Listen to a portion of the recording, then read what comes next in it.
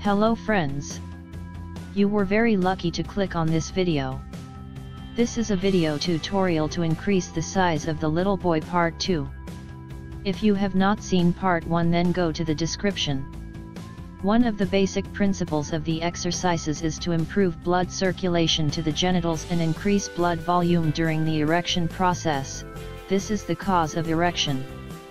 Exercises that stimulate the little boy hold more blood, increasing the size in both erectile and normal states.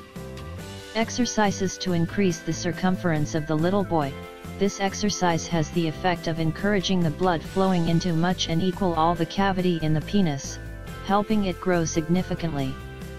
The procedure is quite simple, based on the same movement as when milking, along the length of the little boy, use your thumb and index finger around the base of the penis to hold it tight to ensure it is in place.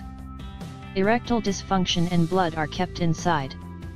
Hold hands with moderate force, gently sliding along the length of the penis, pushing the blood to all internal compartments.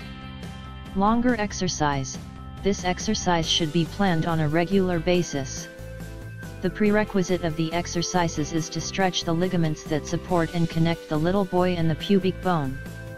The ligaments, often cut off in small size surgeries, causing about half the length of the penis to be pushed deep into the body, stretching the ligaments to help stimulate the penis in the body gradually exposed to the outside.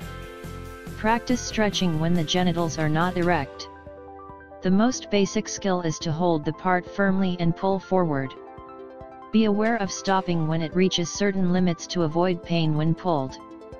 Hold in penile state for about 15 seconds before loosening. Repeat for 10 to 15 times. Kegels method The goal of the Kegels method is to increase the strength of the PC muscle, the muscles between the testicle and the anus. In order to practice the above method, just force the force by mechanical contraction of the PC, like when urinating. For each spasm, keep the state for a few seconds before relaxing. Repeat several times and increase the duration of each contraction. Persistently perform to achieve the desired results. What to eat to increase the size of mucus? Chocolate. Just eating a black chocolate every day can increase your blood sugar by as much as 10%. Therefore, this is a very good food for men who are interested in expanding the size of little boy. Chocolate will increase blood flow to the penis and help ease the erection, thereby improving existing size.